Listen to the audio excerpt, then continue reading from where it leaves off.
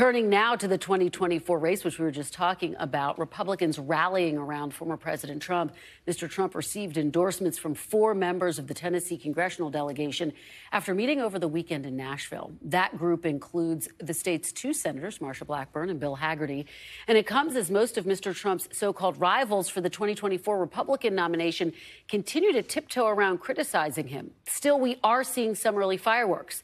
The former president has ramped up his attacks on Florida Governor Ron DeSantis for his past support of entitlement reform. And a new response from DeSantis' allies is hitting back at Trump. Take a look. He's being attacked by a Democrat prosecutor in New York. So why is he spending millions attacking the Republican governor of Florida? Trump stealing pages from the Biden Pelosi playbook, repeating lies about Social Security.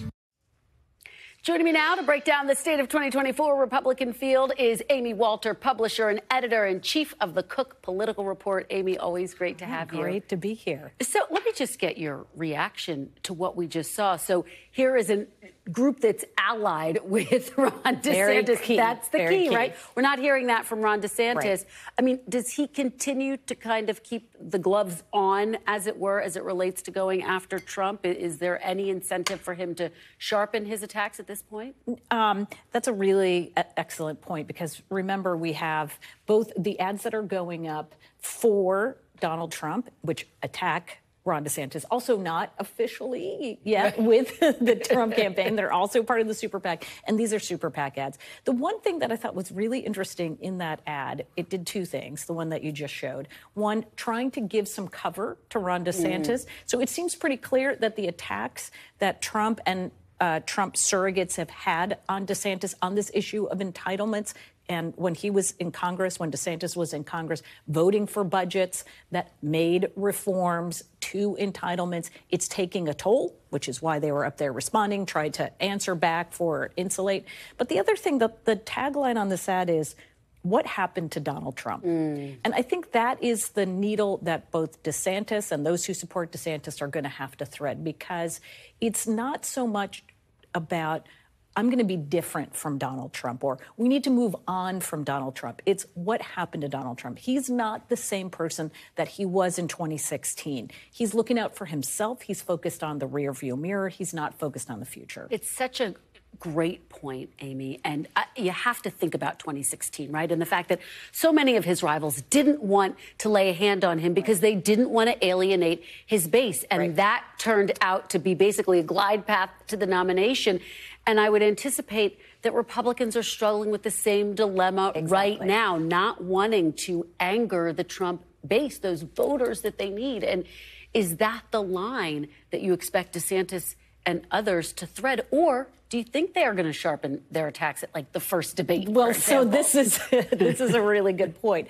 I, I talked to a couple of strategists about this very thing, and one of them made this point earlier before this ad came on that yes, the, the best line of attack against Donald Trump is he's not looking out for you anymore. He's looking out for himself, right? He's so obsessed with the 2020 mm. election, all the things that he's done since then to enrich himself. He's not looking for out for you anymore.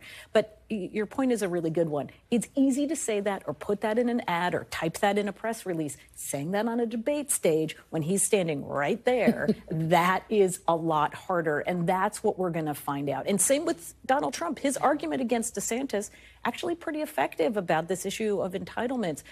But will he be able to stay on message or will he go into the name calling, which he also really enjoys doing when he gets face to face with people? He sure does. There's no doubt we'll see a whole lot of that. You know, it's interesting. We learned that Mike Pompeo is not going to run.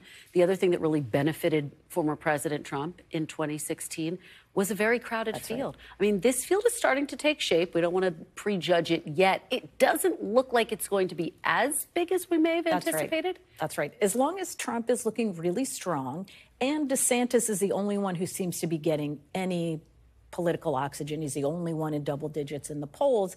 If you're an aspiring politician, especially mm-hmm. a younger one, you say, you know yeah. what, maybe 2028 is a better time for me. It's not worth it to do this. But as we know, and again, I talked to a lot of strategists over the last couple of weeks, especially Republicans who have been in presidential campaigns, and yeah. they say, remember, there's always somebody in the field that surprises us. Mm. Pete Buttigieg, Rick Santorum, right? You, you and I can go right, through the right. whole list of Yeah, candidates that yeah. were at 2% in the polls, and no one was taking them seriously. The two frontrunners got into rock'em sock'em robot kind of fights and created an opening for a candidate who is different. I think that's where Tim Scott is sort of. I was say trying to Tim go, Scott, yeah. Right, which is I'll be the you know, more optimistic. I will be someone who's not bruised up from the fighting. I'm going to be one that unites. He talks a lot about uniting America, but also that I could unite the party. So these dynamics are still very fluid, obviously, but I think you're exactly right. The field is going to be a lot smaller, which means that this fight over that, let's call it 60% or so of voters who aren't hardcore Trump, always Trump voters. That's a big pool. A lot of It's a lot of voters, and the fewer candidates, then you're right. It doesn't get split up in many ways. Very quickly before I let you go, fundraising. The Trump campaign says we're going to have a windfall because of the indictment. You also have Nikki Haley, who her campaign said that they had raised about 11 million. It was actually over 8 million. right. Um, so that got adjusted a little bit. Um, but what do you make of those figures so far and the fact that, you know, Trump's been raising the most, but it's been pretty flat in terms of what we've seen? The one number we really want to see is Ron DeSantis. We know what he raised before.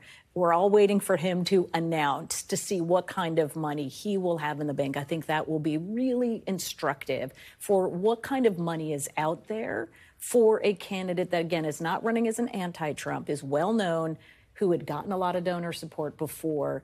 But I think you will have individual donors who may end up saying, well, you might not have a lot of money in the bank, but I like you mm. and I'm going to fund a super PAC for you. And as you know, that matters as well as what's in the bank of the individual candidates. Amy Walter, thank you so much for to be here. setting the table for us on this Thank. Monday, Yes, making us good. smarter. Great to see you as Thank you. Great to always. you. Thanks for watching our YouTube channel. Follow today's top stories and breaking news by downloading the NBC News app.